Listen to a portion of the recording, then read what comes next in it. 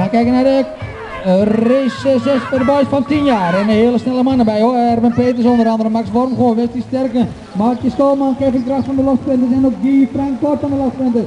Wie is op de kop lopen? Hij is sterk hoor. Wesley Sterken. Hij doet zijn naam helemaal weer aan die rapid wieler. Maar wie komt er mee hoor? De 552. Die is van Max Wormgoor.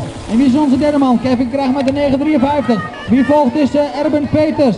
De man van uh, Klasina Veen, Rapid Wheeler. Oh, ze hebben het uh, heel erg moeilijk allemaal. Aan het touwtje gaat het wel recht in de laatste bocht. Sterker. Komt die hoor. Max Wormgoor binnendoor. Pak die koppositie over. Kevin Kracht gaat het nog even proberen. Het is Max Wormgoor. Hij gaat de prijs meenemen voor de Twentse Roos. Het is op de tweede positie